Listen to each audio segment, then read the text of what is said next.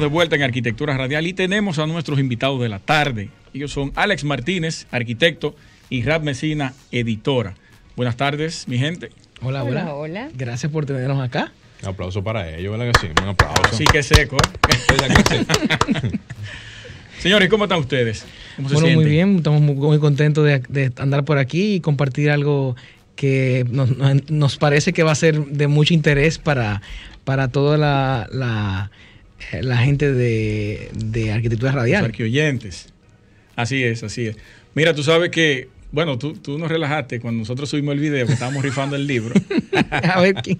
Ya Morel lleva la mitad leída, entonces quedamos en que cuando lo lea yo lo voy a leer. Muy bien, así, se, Pero- así, pero- así mismo, como buenos hermanitos. Claro, lo que pasa es que siempre que tenemos la oportunidad de recibir cualquier tipo de presente de cualquier persona, y por ejemplo el de ustedes, obviamente que cada quien quiere tener el libro primero, Sí. tener la oportunidad. Entonces, para hacerlo lo más diplomático posible, hacemos esa dinámica para entonces que se vea lo más transparente posible. Esa Bueno, es va- la idea. vamos a darle inicio a, Vamos nuestro tema central. Y es Jaragua no cae. Bueno, Jaragua no cae es un proyecto que, eh, que es un libro y una exposición virtual eh, que eh, inicia eh, hace más de tres años donde empezamos a, articular un proyecto eh, que en principio iba a ser una exposición documental en el Centro León y viene de, la, de una experiencia que tuvimos en, en con el Junto del Centro Cultural de España y el Centro León en un, en un programa, programa de, formación de curadores, Curando Caribe se llama, donde presentamos este proyecto como proyecto final y era, era contar la historia sobre la arquitectura del antiguo Hotel Jaragua, un edificio icónico diseñado por Guillermo González en 1942 y entendíamos que era una asignatura pendiente en la arquitectura dominicana que se abordara en profundidad qué fue o que- la vida y la muerte de este edificio. Sí. Recordamos que ese edificio se construye en 1942, pero se demuele en el, en el 85. Y no es el Hotel Jaragua que ustedes están viendo ahí, es en el mismo sitio, pero, pero es completamente distinto. Tú sabes que yo pensaba que ese era el, el originario. ¿Tú pensabas eso? Sí, sí. ¿Hasta cuándo más o menos? No, hace varios años ya. Ah, ok. Pero yo juraba que ese era el antiguo Hotel Jaragua. Pues- Lo que pasa es que se le hicieron modificaciones, pero Exacto. Pues el- Negativo precisamente este proyecto es para, para, para hablar de eso, para hablar de lo que había, de qué perdimos en, en el, eh, eh, con, con- con la muerte de ese edificio, pero Sí. también qué ha evolucionado, qué ha pasado con la ciudad. Eh, y bueno, Rab Mesina, quien es editora de diseño, investigadora también y curadora, se, se monta en el barco de Jaragua no cae justo cuando estamos empezando a trabajar, eh, cambiar el formato que iba de, exposición física, se mete en la pandemia y el Centro León decide eh, y nos apoya con la idea de llevar esto al espacio virtual y hacer un libro, como que esa, esa eh, mutual de, de esos dos proyectos en uno. Y entonces Rap eh, se, se involucra y entonces el proyecto comienza a cambiar un poco, donde no tanto lo arquitectónico es lo importante, sino también lo que ocurre con la gente eh, que, vive en el, que vive el tiempo eh, del edificio y que evoluciona eh, con la historia y qué ocurre en distintos momentos. súper interesante. Eh, esa es la parte que, que, que adelante Rap con un poco de... No porque, Ilústranos. no porque vivimos discutiendo esto. Alex y yo tenemos ya. Acércate un poquito más al- al micrófono, Un año y medio trabajando esto a diario, que hablamos a diario sobre esto, y siempre preguntamos: ¿cuáles son las aspiraciones de este cliente, en el caso de un proyecto privado, o de esta ciudad, en el caso de un proyecto tan público como el Jaragua, que se vieron respondidas con la arquitectura? Wow, esto, es, pregunta. esto es algo, ese edificio respondía a muchas de las necesidades que el Santo Domingo de entonces, que había pasado de ser una villita, San 1930, San Zenón aplana la ciudad. Sí. Aquí no había nada.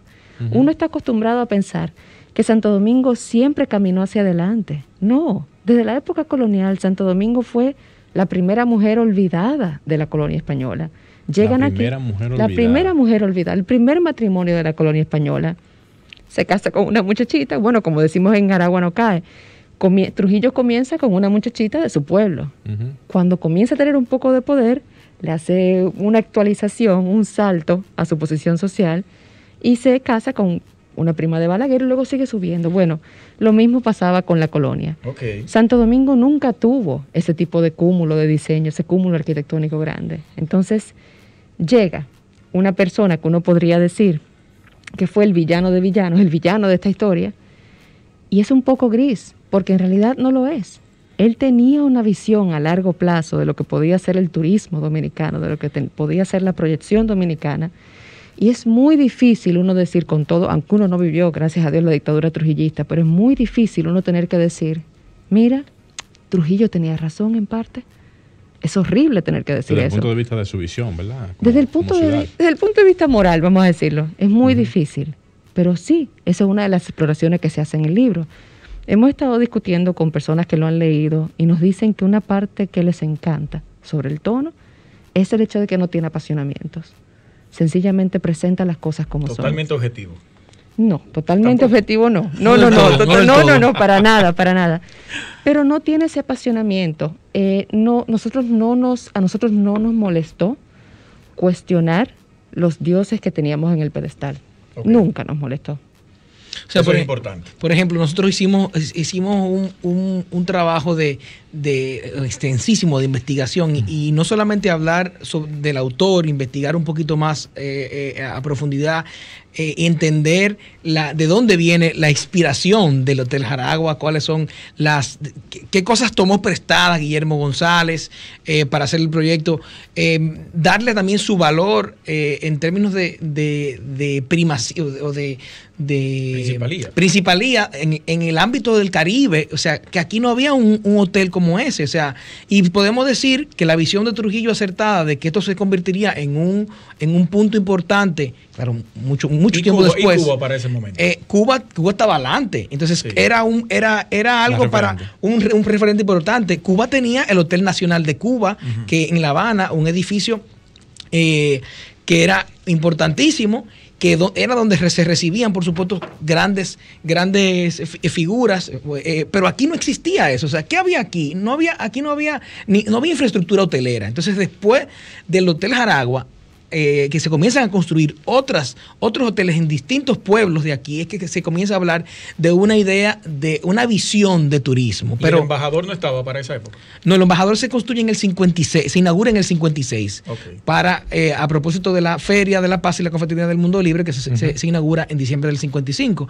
Entonces, aquí en esta historia, donde abordamos, como, claro, como el, el- el ente principal es el Hotel Jaragua y todo lo que tiene que ver con las historias colaterales desde antes de construirlo, de quién eran los terrenos, eh, eh, cómo, cómo llegó, cómo Guillermo obtuvo ese proyecto, eh, quién era Guillermo. eh, y entonces, luego que se construye el edificio, ¿qué ocurre? ¿Cómo crece el edificio? ¿Cómo, cómo, cómo va, ¿Qué va pasando? Eso es propiedad del Estado Dominicano. Entonces, ¿qué va pasando allí? Y hay muchísimos datos interesantes que, que van en la historia que no tienen que ver con la arquitectura, que están incluidas en la Ustedes historia. tocan por casualidad, porque cuando no he tenido la oportunidad de leerlo, la guerra del 65, ¿le ocurrió algo al hotel en ese momento? Sí.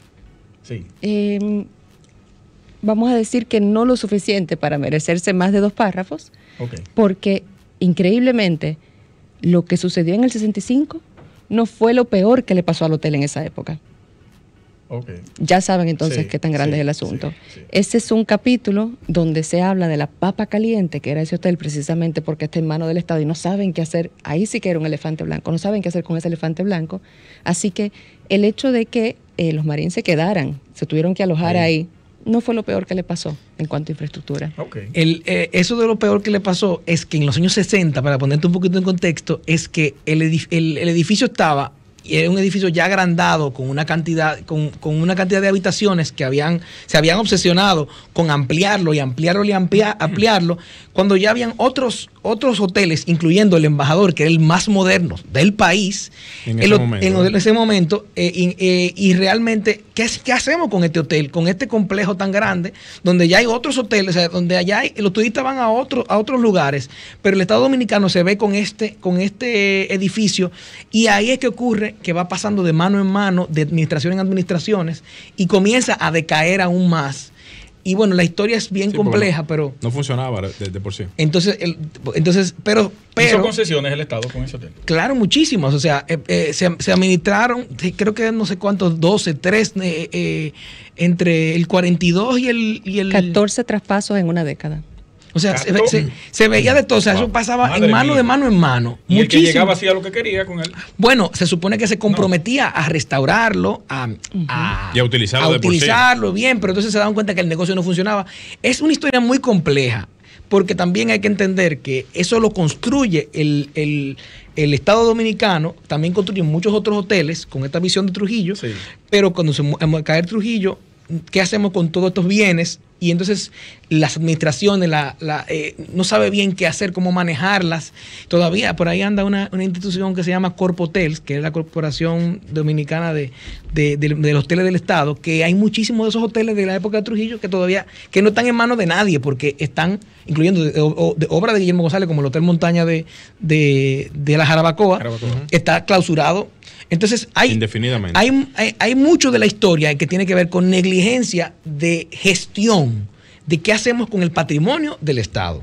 Sería importante saber cuántos hoteles pertenecen al Estado actualmente. Me parece que son 17, me parece que son 17. ¿Y en funcionamiento? En funcionamiento no me acuerdo, pero la joya de la corona es el contrato que tiene con Marriott, quien es que tiene el hotel, el, el- el actual Jaragua. El actual Jaragua, eso, todo ese terreno es del, del gobierno y todo lo que está dentro del terreno, pero la- eh, esos contratos son que viene Marriott eh, y, y entonces eh, construyen este edificio que antes tenía otro nombre eh, y todo lo que está ahí es, de, es de, del, del terreno.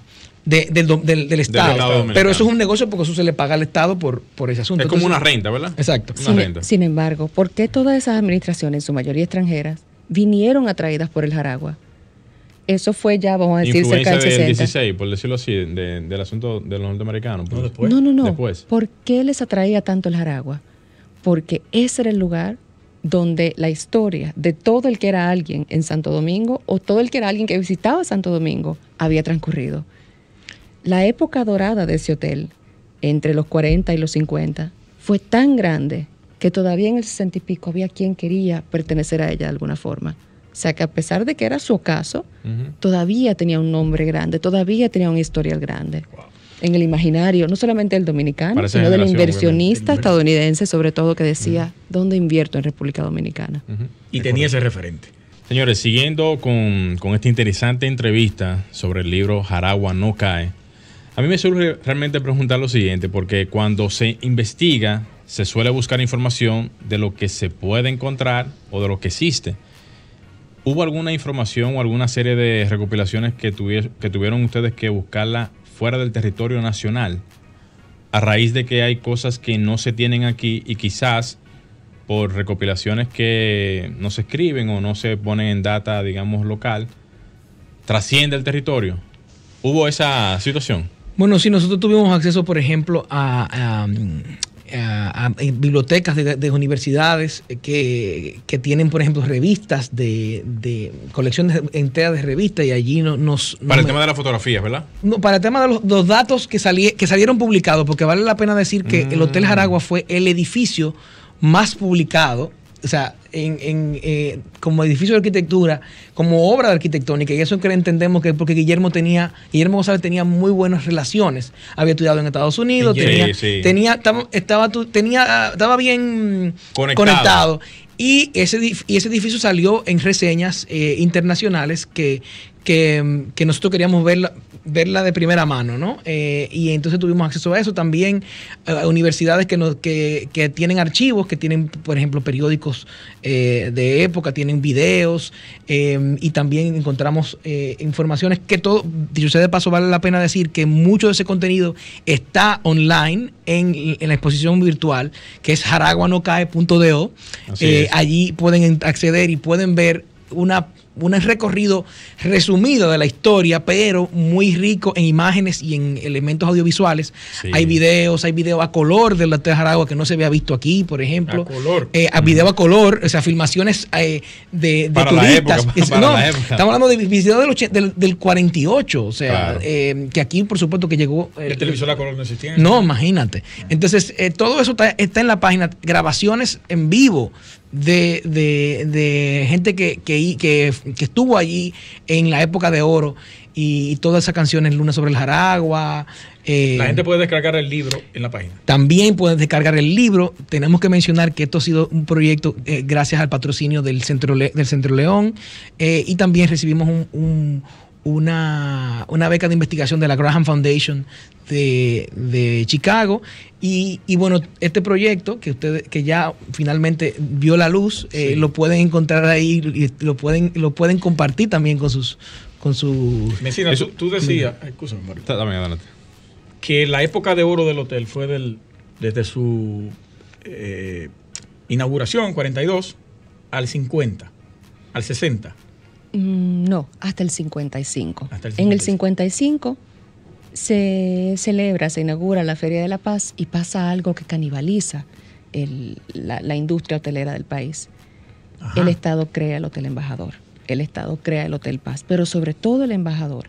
En el libro hay una línea que lo explica. Se usa mucho la metáfora del crucero. Llega un crucero blanco y se traslada a tierra y ahí echa raíces. Ese era el Jaragua. Si el Jaragua era un crucero, el embajador era una nave espacial, porque hasta ese momento no se había visto tal tecnología, tal servicio, tales espacios, tales terminaciones. Lo que Aire, de- aire acondicionado en las habitaciones, eso no se había visto en el país. El embajador entonces canibaliza y la clase alta se mueve. Ya no se la pasa en el patio español, ya entonces va y está con aire acondicionado en el, en el embajador. Perfecto. Entonces, de repente en el 55, más, más bien en el 56, ya el Jaragua no es el lugar in para ser visto. Madre mía. Entonces la élite se Sí, traslada a otro sí. lugar.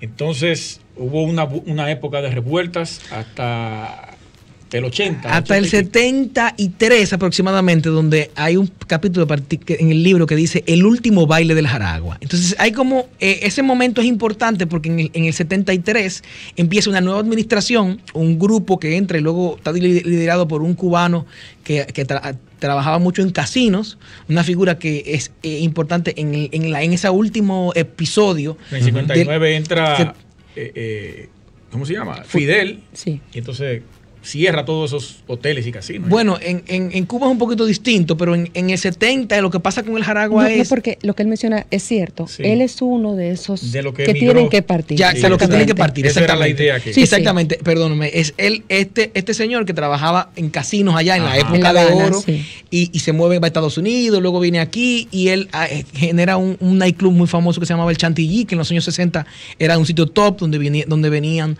todos estos eh, artistas internacionales. Un empresario artístico y de casino.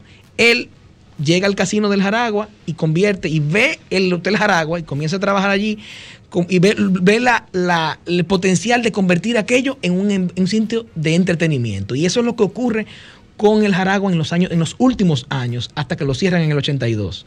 Que lo que ocurre es que en esos, en, en, en 73 al 82, hay un, un, un ambiente distinto ver el, el Hotel Jaragua, ya no con, la, con el tema de las habitaciones, porque aquí en ese momento también habían hoteles nuevos que se estaban abriendo, Sí. pero eh, un, es- un, un lugar para hacer grandes shows tipo Las Vegas, eh, el casino, y, y- y- y que relacionaran la marca Jaragua con nightclub, con eh, vida nocturna. Sí. Eso fue lo que se logró en ese último, en ese último eh, espacio de tiempo, hasta que en el 82 se, se deciden quitarle esa, ese contrato a esa persona cuando llega el nuevo, nuevo, nuevo gobierno, y entonces el- hay nuevos planes para con el hotel o con- para con el terreno.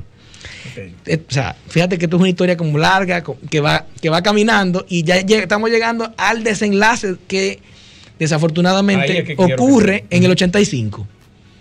Antes de llegar al- a ese desenlace, y perdona, yo sé que esta investigación vino de la mano con el interés de resaltar uno de los patrimonios arquitectónicos de principio de era, que tiene que ver con este importante hotel. Pero eso vino de la mano también y que vaya a propósito con la respuesta de la, inquietud que se tiene ahora, con no olvidarse de ese patrimonio histórico que en su momento fue un ícono, eh, digamos, internacional de República Dominicana. Esa es la, intención principal, de, recobrar y de que no desaparezca esa imagen arquitectónica de principio de siglo de lo que fue ese ente arquitectónico en ese momento. Es por ahí que anda el asunto realmente. El Hotel Jaragüe es un canal para decir un mensaje muy claro. Ahora mismo el dominicano, o más bien el sandominguense, solamente valora como valioso la ciudad colonial, lo que hay en ese perímetro. Piensa que eso es lo único que le puede interesar a un turista, piensa que esa es su cara, piensa que esa es su cara más amable. Y entonces, y esa es una línea que viene estatal también. Qué bueno que tú lo dices. Entonces, todo lo que está fuera de ese perímetro no vale la pena preservar. No hay nada de valor arquitectónico o estético, no hay un maestro visual que nos enseñe cómo vivir. Entonces, no es meramente decir lo moderno es preservable, es qué es lo que nos falta por aprender porque tuvimos esa brecha de conocimiento.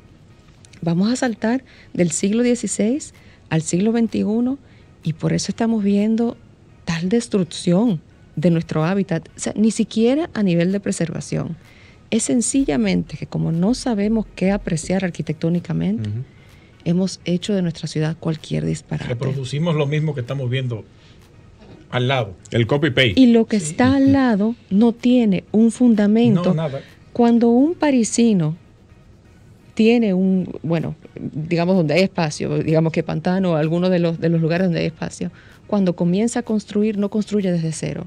Se para sobre los hombros de gigantes porque tiene siglos y siglos de conocimiento arquitectónico sobre los cuales trabajar. Nosotros no tenemos eso. Nosotros cada vez que estamos comenzando un edificio aquí, con la excepción del uso de algunos materiales, estamos comenzando desde cero, porque nos están tumbando todo. Entonces nadie puede decir, mira, este es el entrepiso que funciona para que nos sintamos mejor y no nos dé calor, o este es el tipo de ventanal que funciona. No, estamos comenzando desde cero siempre. Entonces, el Jaragua, hasta el capítulo 8 del libro, que tiene nueve, es el gran protagonista hacemos un cambio en el capítulo 9, donde toda esa falta de apasionamiento se deja detrás y comienza toda la pasión que supuestamente no hubo en ocho capítulos, entra en el 9. El 9 apunta los dedos a cuatro sectores del país desde el comprador de propiedades inmobiliarias, el comprador, nosotros los ciudadanos tenemos parte de la culpa, sobre todo el ciudadano que tiene la posibilidad por su privilegio económico de instruirse y no lo hace. Ese es uno de los principales culpables porque cuando el comprador maneja el mercado con su bolsillo, cambios suceden. Entonces el comprador tiene parte de la culpa. Los promotores están haciendo las ciudades. Los promotores son otro de los sectores a quien se apunta un dedo, el Estado es otro y también entonces el arquitecto. El arquitecto que por un tema de ego prefiere destruir a colaborar con una voz pasada. Ahí entran los ganadores del Pritzker. Y el inversionista. ¿no? Sí, Philip, Jean-Philippe Nunca destruir siempre restaurar. restaurar. No entra el, el, inversionista, eso brevemente. Un El inversionista. El inversionista es el segundo culpable. Claro que sí. el promotor puede ser una figura alterna al inversionista, que muchas veces no es la misma figura, y quizás realmente ahí pudiera entrar el, sector inmobiliario, todos los, los, pertenecientes al sector inmobiliario son el segundo culpable. Ah, perfecto, excelente. Nos queda un minuto como máximo. Vamos a resumir ya todo lo que hemos expuesto aquí el tema de, la destrucción del hotel. No, bueno, eso es, ese, ese, ese parte es interesantísimo de que por primera vez se da en que hay un movimiento ciudadano en los años a partir del 84 hasta la demolición que, que se alza su voz eh, no solamente son arquitectos, sino que varios grupos de la sociedad que entienden que no debe de demolerse el Hotel Jaragua. Y, hay todo un entramado ahí complejo de que gente que quería que lo demolieran. Que, ¿La razón era cuál? La razón de parte del Estado es que el, Estado quería eh, hacer un proyecto nuevo para, con unos inversionistas y hacer un proyecto completamente nuevo. Y, no veían la posibilidad de mantener por lo menos una, porción del por lo menos el proyecto original y hacer esa torre y su, y su nuevo proyecto y modernizar pero conviviendo con lo que existía. Claro, claro. Y eso se ha hecho en muchísimos Se sitios. podía, se podía. A propósito de lo que tú dices de, de, de, de los, de los actual, del actual eh, Sí. premio Pritzker. Así es, así es. Señores, muchísimas gracias por venir, Rap. Un placer. Eh, Alex, siempre es un placer inmenso tenerte por aquí. Espero poder tenerlo nuevamente. Esperamos tenerlo nuevamente por aquí. Dios Eh, mediante. Señores, ha sido todo por hoy. Arquitectura Radial. Nos encontramos el próximo domingo. Gleiner Morel, un servidor, Luis Taveras y Franklin Tiburcio en los controles. Y hasta aquí, Arquitectura Radial.